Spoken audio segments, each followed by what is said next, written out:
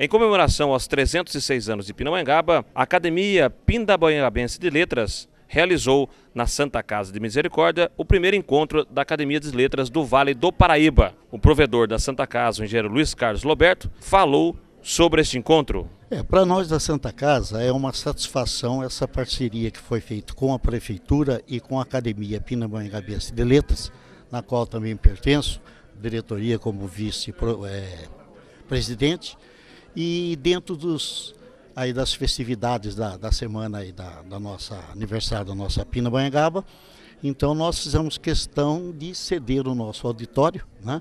para que pudéssemos receber aqui todos os presidentes das academias de letras do Vale do Paraíba para o primeiro encontro da, das academias. Né? Então, para nós é uma satisfação poder participar dessa, dessa atividade, receber o pessoal aqui, né? muitos amigos já conhecidos, outros estamos tendo o prazer de conhecer hoje, mas para que haja um entrosamento da cultura, da história, né?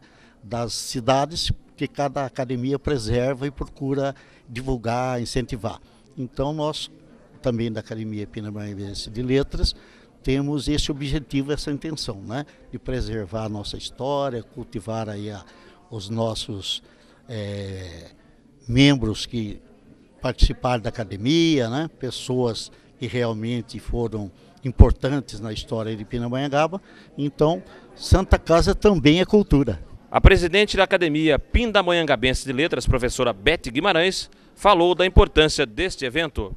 Então, esse encontro, na verdade, é para a gente conhecer né, as 10 academias do Vale do Paraíba que a gente não conhecia e, e, e, e né, fazer com que esse, esse, laço seja permanente agora, que a gente possa construir um Vale do Paraíba culturalmente melhor, né? quer dizer, trocar, entre aspas, figurinhas. Né?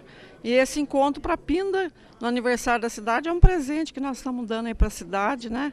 que a nossa academia vai fazer 50 anos ano que vem, então vamos dizer que nossos, nossas festanças já estão começando esse ano. Né? Como é que a senhora vê essa comemoração dos 306 anos de Pinda? Diversos eventos, orquestra sinfônica na praça, enfim. Nossa, tá maravilhoso, né? O prefeito está de parabéns, quem está organizando está de parabéns, porque eu nunca vi tanta festa. A gente fica até, não sabe nem para onde que vai, né? E eventos de qualidade, que isso que é importante, né? Tanta gente fazendo um, um, clássico, vamos dizer assim, desses eventos culturais. Eu acho muito importante. Eu gosto de todos os níveis, mas eu acho que assim o inverno nos convida para essa coisa mais clássica, né? Para o jazz, para a sinfônica. Então eu acho que é, vai pegar. Eu acho que a partir desse ano nós vamos ter um mês de julho com muita festança, muita festividade aqui em Pindamonhangaba e isso vai ser muito bom trouxe, traz muitas pessoas de fora. Você vê, aqui, aqui hoje nós temos gente de São José, Jacareí, Lorena, que não se conheciam e vão se conhecer e nós vamos realmente fazer um evento para para ser é, eterno, eu acho, porque cada ano vai ser numa cidade, essa é a ideia. Ano que vem, 50 anos da APL. 50 anos da PL, é, vai ser com nova presidência, novo conselho diretor, mas nós vamos estar tá aí para estar tá ajudando, né?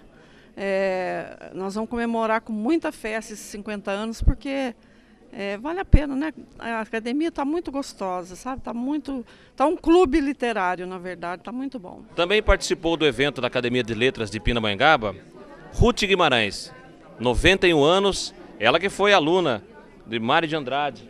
Professora, como está esse trabalho? A senhora tem a dizer sobre essa noite, esse encontro de hoje aqui, de todo o Vale do Paraíba?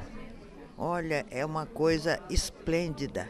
A gente só cresce, só progride é, com gente. E esse encontro de gente ah, é, uma, é, é um progresso grande para o Vale. Como é que a senhora vê aí a participação da escola, da questão da literatura, da leitura? As crianças têm lido bastante? Não tem.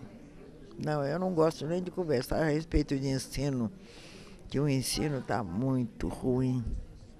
E é uma coisa que a senhora gostaria que fosse um pouquinho melhor no país todo. Oh, ah, era preciso, porque ah, o, o crescimento começa é, é, desde o nascimento. Né? O evento contou com a presença de academias de Jacareí, Caçapava, São José dos Campos, Taubaté, Lorena, Cachoeira Paulista, Roseira e Campos do Jordão. Marcelo Santos para RVC Notícias.